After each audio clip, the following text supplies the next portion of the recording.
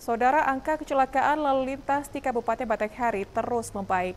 Tercatat di tahun 2024, angka kecelakaan lalu lintas di wilayah Kabupaten Batanghari mengalami penurunan hingga 3,6 persen dibandingkan tahun sebelumnya. Polres Batanghari melalui Satuan Lalu Lintas atau Satlantas mencatat hingga periode September 2024 terdapat 105 kasus kecelakaan lalu lintas. Sementara di tahun 2023 tercatat ada 109 kecelakaan lalu lintas di wilayah Kabupaten Batanghari. Kepala Satlantas Polres Batanghari Agung Prasetyo menyampaikan di tahun 2024 terdapat penurunan angka kecelakaan lalu lintas sebesar 3,6 persen.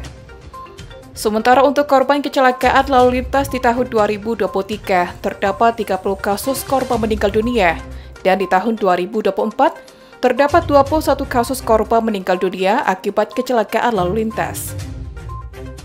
Sekalian dapat disampaikan bahwa uh, perbandingan data kecelakaan lalu lintas dari bulan Januari sampai September tahun 2024 dibandingkan 2023. Jadi di tahun 2023 jumlah kecelakaan selama Januari sampai September itu ada 109 kejadian. Namun untuk di tahun 2024 ada 105 kejadian yang artinya adalah turun sebesar 3,6 persen. Kemudian untuk jumlah korban meninggal dunia akibat kecelakaan lalu lintas Januari sampai September bulan 2023 ada 30 orang meninggal dunia. Untuk di tahun 2024 Januari sampai Desember 2024 yang meninggal dunia ada 21 kasus yaitu berarti turun sekitar 30 persen.